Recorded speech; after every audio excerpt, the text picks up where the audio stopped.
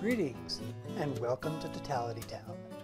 The New York Times estimated that over 200 million people saw at least some part of the 2017 Great American Total Solar Eclipse. It really was a spectacular event, and one of the most asked questions afterwards was, when will the next one be? Well, that would be Chile back in 2019, and it was wonderful.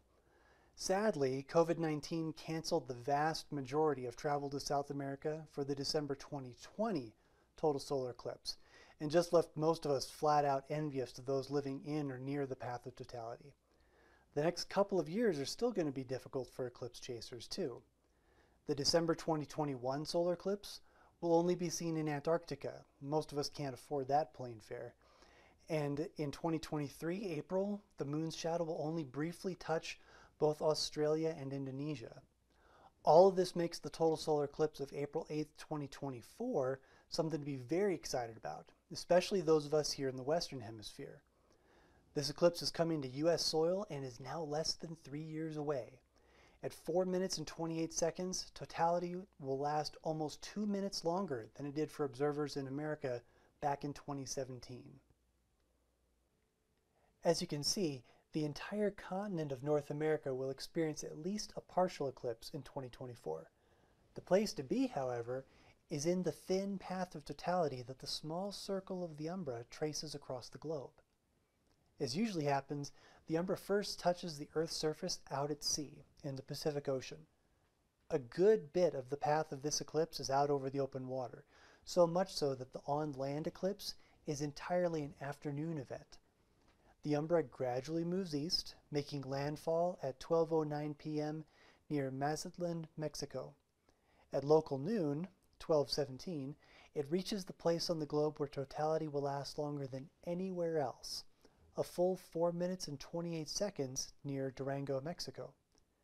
10 minutes later, the moon's shadow enters U.S. soil where it crosses the state of Texas, skirting the northwest suburbs of San Antonio before encompassing Waco, Dallas, and Fort Worth. A good bit of Arkansas will also see totality before the shadow moves into the Midwest. The center line passes south of Indianapolis, where they will see the whole show. Residents of Columbus, Ohio will only have to make a short drive to get into the path of totality, while Cleveland and then Rochester are nearly bullseyed by the center line.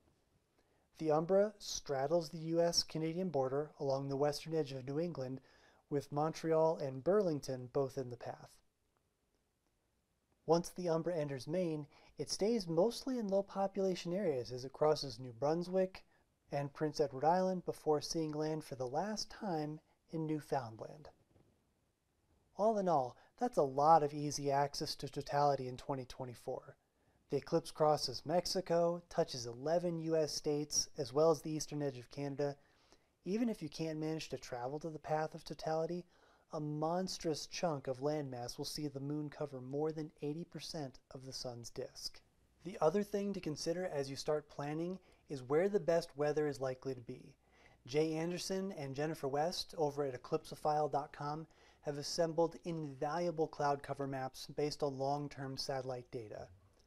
The very short version of the story is that Mexico and Texas historically have the least chance of cloud cover on April 8th. So head on over to their website and read the detailed historic weather reports for each region that's going to be touched by the eclipse's path. The site is listed in the show notes, and I'll go into more detail about cloud cover predictions in upcoming episodes as we all figure out exactly where we want to be on the afternoon of April 8th, 2024. Thank you for joining me here on Totality Town. I have a wide variety of Eclipse videos in the works, so please subscribe to the channel to make sure you catch them all.